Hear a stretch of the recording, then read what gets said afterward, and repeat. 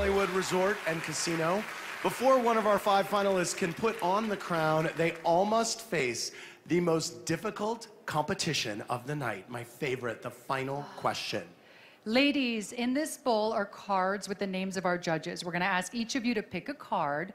The judge you choose will ask your final question. You'll have 30 seconds until you hear this sound, and that is the signal that your time is up. Judge number one, Diego Boneta, your question. If you could make a new law, what would it be and explain why? Hindi ko alam. Picked? It's a Twitter question from judge number four, Nigel Barker. Nigel Barker, what's your question?